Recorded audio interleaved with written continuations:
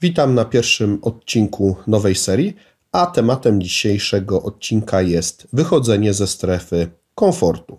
To takie podstawowe założenie wielu szkoleń, poradników i to oczywiście po polsku, wprost mówiąc, oznacza ruszyć się, zrobić coś więcej niż dotychczas, tak żeby niejako przestać być w tym miejscu, w którym jesteśmy i wiedząc, że to będzie wymagało od nas wysiłku, niekiedy dużo wysiłku i fizycznego, i psychicznego, i wielu wyrzeczeń, po prostu rozpoczęcie czegoś nowego, czegoś, co zaplanowaliśmy. Jeśli mowa na przykład o odchudzaniu, czeka nas dieta, wyrzeczenia, ruch. Jeśli chcemy się czegoś nauczyć, nie możemy leżeć, nie możemy przeglądać Instagrama na telefonie. Musimy część tego czasu, który do tej pory przeznaczaliśmy na coś o wiele przyjemniejszego, musimy przeznaczyć na tą naukę. Tylko, że dla wielu od razu oznacza to gigantyczne wyrzeczenia, wręcz samobiczowanie. Wiele osób, które mówi o tym wychodzeniu ze strefy komfortu, chciałoby, żebyśmy się rzucili na głęboką wodę, że jeśli jest to dieta, to taka na całość. Że jeśli chodzi o naukę, to taka przez cały dzień. I oczywiście ta seria będzie z takimi właśnie podejściami się rozprawiała. Wychodzenie ze strefy komfortu nie może być czymś drastycznym. Oczywiście w niektórych przypadkach jesteśmy do tego zmuszeni, ale tutaj mówimy o rzeczach, które nie dotyczą nas, że coś musimy, ale że coś chcemy. To wyjście ze strefy komfortu ma być z własnej woli, ma być przez nas zaplanowane i mamy to zrobić dla siebie.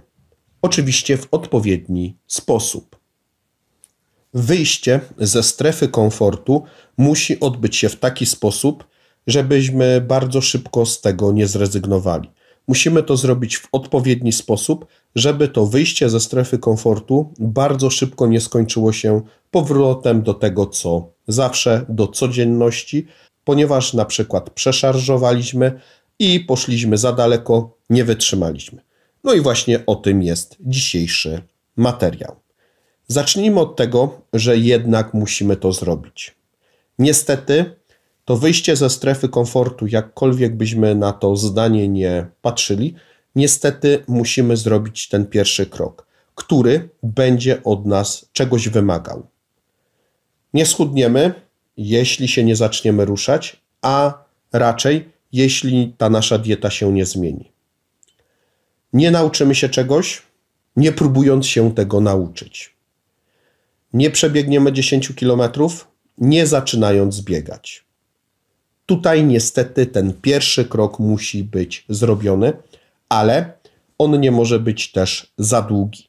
Musimy pamiętać, że po drugie, zróbmy to tak, żeby to nie było zbyt duże wyjście z tej, z tej strefy komfortu. Ile to zbyt dużo? Dla każdego inaczej. Dlatego próbujmy robić ten pierwszy krok myśląc. Dieta, oczywiście.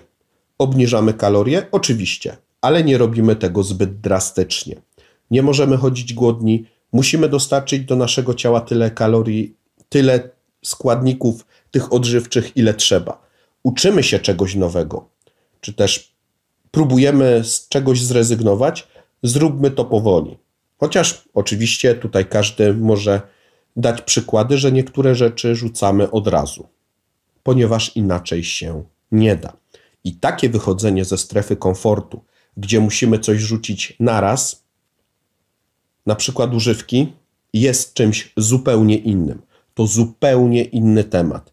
Tam musimy iść na całość. Ale kiedy chcemy czegoś się nauczyć, kiedy chcemy się rozwijać i musimy niestety wyjść ze strefy komfortu, z tej wygody, z tego można powiedzieć łóżka i się po prostu ruszyć, ruszyć dupę i przepraszam, po prostu coś zrobić, to zróbmy to mądrze.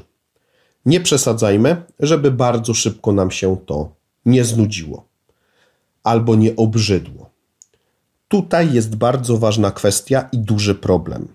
Niestety bardzo trudno określić, czy to, co z siebie dajemy, to maksymalnie to, co możemy z siebie dać.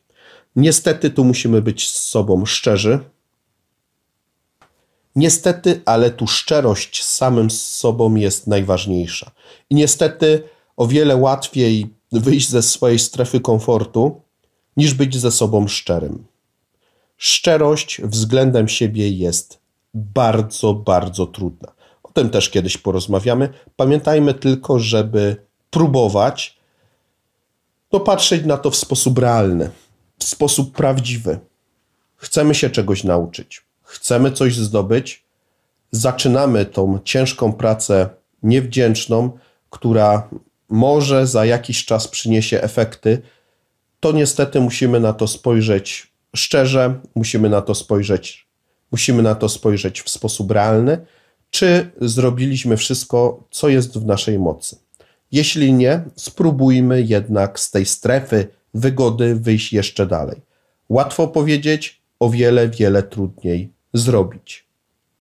I choć wiele osób, ci coache, ci wszyscy, którzy nas chcą uczyć, jak mamy żyć, mówią nam, że ten pierwszy krok jest najtrudniejszy, wcale tak nie jest. On jest trudny, ale kolejne wcale nie są łatwiejsze. To nie jest tak, że jeśli już zaczęliśmy, wszystko będzie z górki. Nie. I nie spodziewajmy się, że to będzie takie proste. Pamiętajmy, że to wyjście ze strefy komfortu, ten pierwszy krok jest trudny, ale później musimy to wszystko utrzymać. Pierwszy krok, pierwszy krok, choć bardzo ważny, nie jest krokiem ostatnim i z tego musimy zdawać sobie sprawę. Jeśli nie będziemy sobie zdawać z tego sprawy, jeśli będziemy uważać, że po prostu zaczęliśmy, już będzie z górki, no troszkę będzie, ale musimy zdawać sobie sprawę, że jednak to jest początek trudnej drogi. I wiele osób powie nam, jak już zaczęliśmy, to już jakoś będzie. Nie szykujmy się na jakoś będzie, szykujmy się na to, że to wyjście ze strefy komfortu troszkę będzie nam cierniem w nodze. Troszkę nam to zajmie, zanim się przyzwyczaimy. Jednak nie dajmy, ładnie to może zabrzmi, nie dajmy przesłonić tej, nie dajmy sobie przesłonić tego celu, rezultatu, tego co chcemy osiągnąć, tymi trudnościami. Ponieważ niestety najczęściej rezygnujemy z tych zmian, z tych wszelkich starań, żeby coś się w naszym życiu zmieniło, albo żeby czegoś się nauczyć, albo żeby schudnąć, niestety ten trud przesłania nam ten końcowy efekt. To, co chcemy osiągnąć. Jeśli tak się stanie, po ptokach, brzydko mówiąc. Tutaj dużo będzie takich moich y, słówek, zdań, ale musicie się przyzwyczaić albo po prostu nie oglądać. Nie będziemy ubierać tego wszystkiego w piękne słowa, ponieważ piękne słowa najczęściej nie są wystarczające. Więc wyjście ze strefy komfortu to po prostu po ludzku, po polsku ruszenie się i rozpoczęcie czegoś nowego. Trudne, ale musimy to utrzymać. Chcemy coś osiągnąć? No niestety. Chcemy na YouTube'a wrzucić materiał, to musimy się zastanowić, musimy go nagrać, zmontować, opublikować i później wiedzieć, że na przykład będzie wiele negatywnych komentarzy, albo nie będzie tych komentarzy, ponieważ nikt tego nie obejrzał.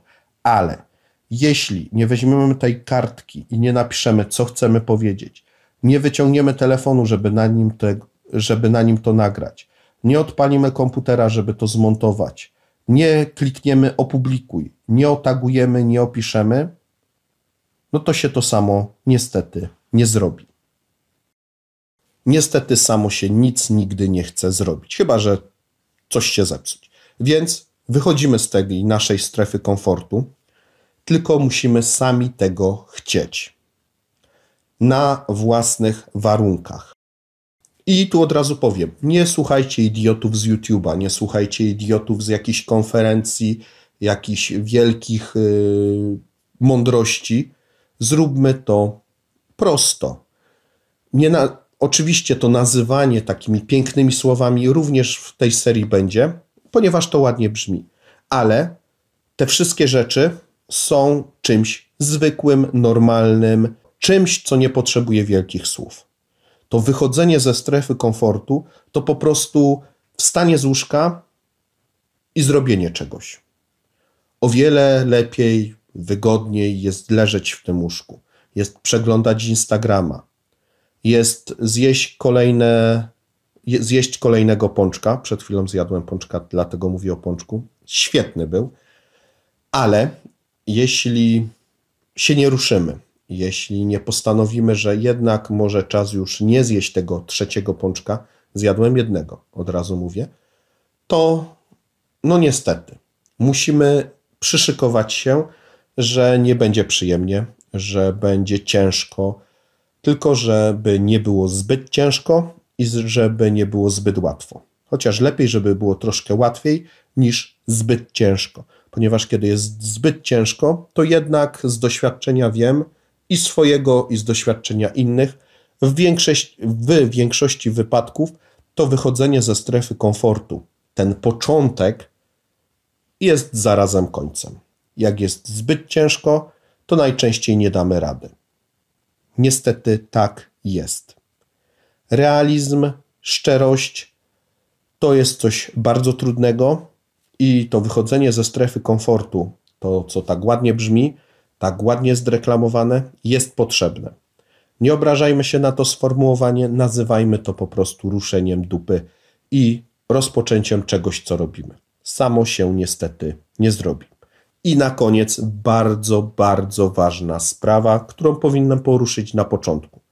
To wychodzenie ze strefy komfortu nie może być czymś, co może być dla nas złe, ani dla naszych bliskich. Rzucenie się na głęboką wodę musi być przemyślane. To, że wyjdziesz ze strefy komfortu, super, ale jeśli to może być dla ciebie czymś niedobrym, zastanów się 20 razy. Jeśli może to sprawić, że będzie to czymś niedobrym dla naszych bliskich, zastanów się 40 razy. Początek jest trudny, ale ten początek musi być taki, żeby nam kiedyś nie zaszkodził. Jest wiele rzeczy, które chcielibyśmy zrobić, jest czymś trudnym, ale może być dla nas czymś niekorzystnym. Róbmy tak, żeby sobie nie, żeby sobie nie zaszkodzić i nie zaszkodzić naszym bliskim. O czym niestety nie każdy nam powie i nie każdy pamięta. Jak widać, już ponad 10 minut mówię o jednej rzeczy. Mam taką listę rozpisaną sprzed kilku lat o takich rzeczach. Miała być książka nawet. I tych rzeczy tam jest chyba 50. Więc jak widzicie, potrafię o jednej prostej rzeczy mówić ponad 10 minut i nie wyczerpać tego tematu, ale warto, myślę, że warto, może choćby nawet jedna osoba była zadowolona, może to pomoże. Wcale nie oznacza to, że ta seria będzie miała 50 części. Chyba moja strefa komfortu jest zbyt duża, żebym się na to rzucił, chociaż może a może i książka kiedyś powstanie, tylko kto by ją czytał poza mną, a po sobie nienawidzę czytać. Więc na spokojnie. Pamiętajmy, że zmiany są trudne. Efekty często bardzo odległe, ale kiedy nie będziemy zmieniać, kiedy nie będziemy próbować, niestety samo się nic nie zrobi. Na dzisiaj dziękuję. Mam nadzieję, że taki początek serii będzie dobry. Kolejne części będą, myślę, równie ciekawe, tylko że jest jeden problem. Nie jestem w stanie tak fajnie tego przekazywać, jak, prze, jak mam to w głowie i jak mam to napisane. Dziękuję za uwagę. Zapraszam ponownie. Wyjdź ze swojej strefy komfortu, ale zrób to mądrze. I nie musisz tego tak nazywać. Nazwij to po prostu ruszeniem się i tym, że zaczynasz coś robić normalnego od początku. Jeszcze raz dziękuję za uwagę. Zapraszam ponownie.